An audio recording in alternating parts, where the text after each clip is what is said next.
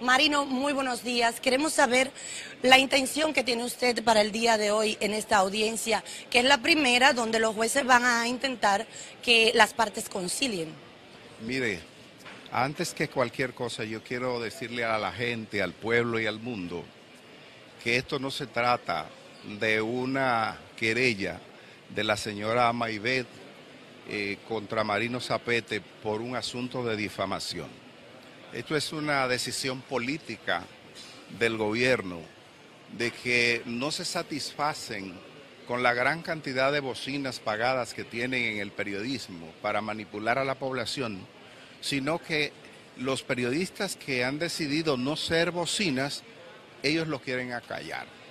El procurador, si quería resolver este asunto y saber si lo que yo estaba eh, denunciando tenía algún valor, solo debió pedir el expediente, debió decirme que le facilitara los contratos que había firmado su hermana en representación del grupo Asinra. Y después de verlo, si eran documentos alterados o no se correspondían con la verdad, entonces proceder. Pero no, no le interesa eso. Lo primero, la primera decisión fue presionar a los dueños del canal para que me echaran, lo que confirma que era un asunto de que hay que callarle la boca. Segundo, acudir donde mis empleadores que no tienen nada que ver con prensa para tratar de presionar que me saquen. Y el procurador sabe, y por eso él puso al pobre de Luis García a decir que él no lo había presionado, pero él sabe que no puede hacer eso con mis otros empleadores. Y él sabe además que él escribió el guion de lo que yo debía leer. Se trata, perdone que le interrumpa, esto se trata de una información de la cual usted se hizo eco, pero que fue una investigación de una tercera persona.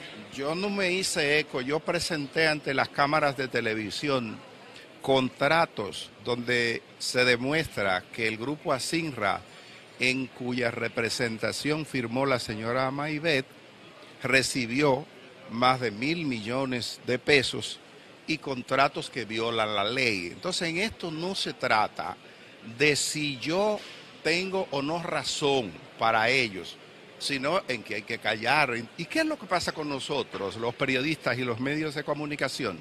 Nuestra razón de ser es tener el acceso a la información para compartirla con la gente.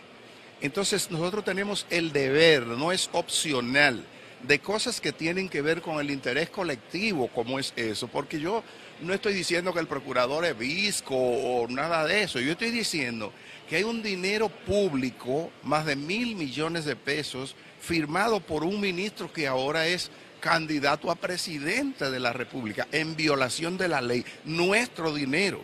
Aquí no se está cuestionando el comportamiento personal de esas personas, sino el comportamiento como personas públicas que han entrado en contacto con fondos públicos y que el pueblo tiene derecho a conocer. Entonces yo le digo, esto no es un asunto contra Marino Zapete. Marino Zapete posiblemente fue visto como la parte más vulnerable y fue traída aquí para mandarle un mensaje a Alicia Ortega, para mandarle un mensaje a Uchilora, para mandarle un mensaje a, Nuria Piera, para mandarle un mensaje a Diana Lora y a todas aquellas personas que han decidido legítimamente no ser bocinas. Entonces lo que se está juzgando y quien está aquí en el banquillo hoy, eh, aunque sea en la persona de Marino Zapete, pero no es Marino Zapete, es la libertad de expresión. Es el único recurso que tiene un país donde las instituciones están secuestradas. Aquí existe poder absoluto y ahora quieren imponer pensamiento único donde no funciona la justicia, donde un procurador y un presidente se sientan y asquerosean virtualmente a una digna magistrada como Miriam Germán y no pasa nada, donde un presidente puede nombrar a los miembros de la Junta, a las altas cortes, donde la Cámara de Cuentas es un instrumento político al servicio del gobierno, tiene que haber por lo menos el escape de que algunos periodistas, los que no están vendidos, por lo menos digan al pueblo algo. Y entonces tampoco se va a permitir eso. Yo soy claro y se lo digo a la gente. A mí me importaría que en el caso mío que se ha violado todo, porque ya el gran perdedor soy yo, porque aunque las bocinas dicen, ay, pero si él tiene prueba, que vaya y la demuestre. No, pero ya a mí me quitaron mi programa, se lo quitaron al pueblo. Ya a mí me fueron a presionar a mi jefe para que me deje sin empleo.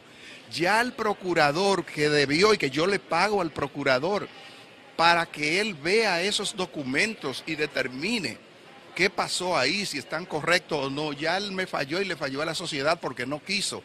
Entonces ahora la gente que hasta el momento es la que se ha beneficiado de acciones ilícitas, es la gente que me sienta a mí en el banquillo de los acusados. Y yo quiero que me digan, quién les habla a ustedes es un individuo que jamás, yo no tengo ni una infracción de tránsito en mi vida.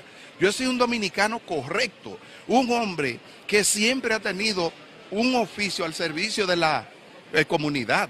Y entonces el malo de la película soy yo y dicen las bocinas, no, pero que demuestre. Oye, quienes deberían estar explicando eh, esos contratos son ellos.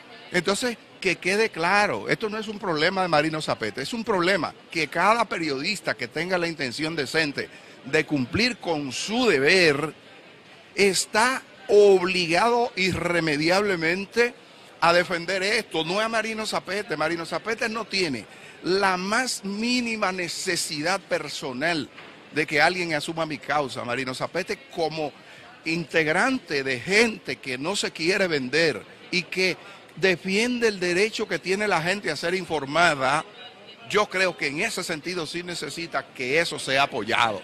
Y lo que va a pasar aquí, la gente dice que Qué bueno que yo me fullí porque que esto va a ser una ejecución sumaria, porque después de lo que le hizo el procurador a Miriam Germán, imagínense, a esa digna magistrada, que todos los jueces le van a tener miedo porque él es capaz de aplastarlo. Bueno, eso es asunto de los jueces, no mío. Ahora, a mí me aplasta el poder, no la razón.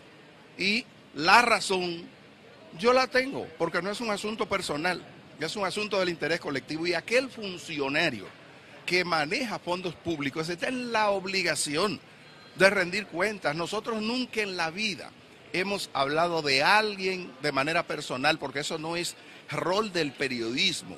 Nosotros somos instrumentos en una sociedad donde la institucionalidad está secuestrada, que constituimos un escape para que la gente sepa lo que está pasando. Pero como decía Uchilora esta mañana, ya el problema no es la impunidad, que ya la tienen garantizada. Ahora el problema es que no se sepa que hay impunidad. Y por lo menos mientras yo esté, y esté Uchi, esté Alice, y esté Nuria, y estén muchos periodistas que no están en la nómina, se va a saber, se va a saber.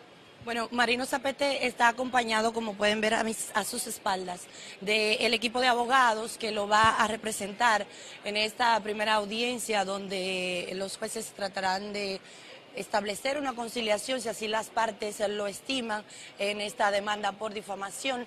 Además, aquí ha venido un grupo representativo del colectivo Marcha Verde, quienes han venido a apoyar al periodista Marino Zapete. Por ende, aquí eh, representando al grupo SIN está también el presidente y la vicepresidenta de esta empresa, Fernando Hasbun, y Alicia Ortega, quien ya se encuentra dentro de la sala de audiencias, en apoyo a este periodista que por años trabajó con nosotros en Noticias SIN y el programa El Despertador. Estamos al pendiente del desarrollo de esta audiencia y en una próxima eh, eh, contacto pudiéramos tenerlo.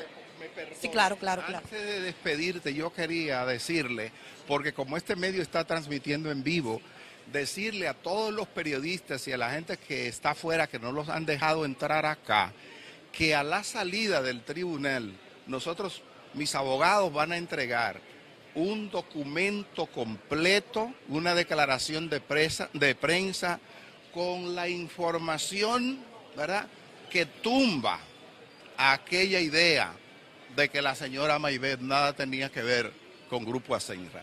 Así que a la salida del tribunal ese documento se va a entregar a todos los periodistas. Muchísimas gracias, Marino. Bien, como les decía, estamos al pendiente a la conclusión de esta audiencia. En un próximo contacto pudiéramos tenerle más detalles.